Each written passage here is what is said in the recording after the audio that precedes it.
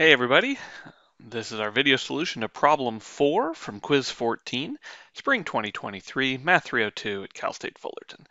And this problem, we are going to be utilizing uh, Lagrange's theorem in order to determine the possible orders of subgroups of a group G of order 56. Okay, so remember the order of a group is the cardinality of the group. So uh, just so the quick recollection here, what is Lagrange's theorem telling us? So Lagrange's theorem is applying in the case of a finite group.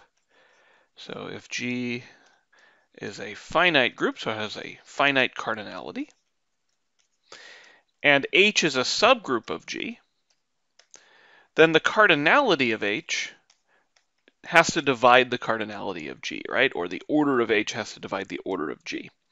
So in our case, the order of G is equal to 56. And so if we're going to have a subgroup, it's going to have to have an order that divides 56. So the possible subgroup orders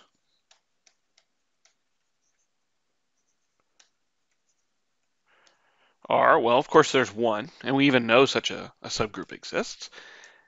And let's see. Well, sometimes it's easier to work sort of on the outsides and then work your way in. So we have 1 and, uh, I don't know, 56, right? Uh, then we have 2 and 28.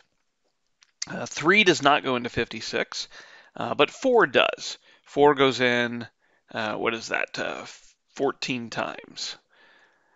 Okay, um, let's see, 5 does not go in, 6 does not go in, 7 does go in, and it's 7 times 8.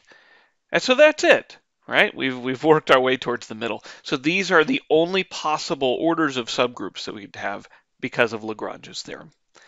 All right, that's the rest of this quiz. So uh, we will see you next time.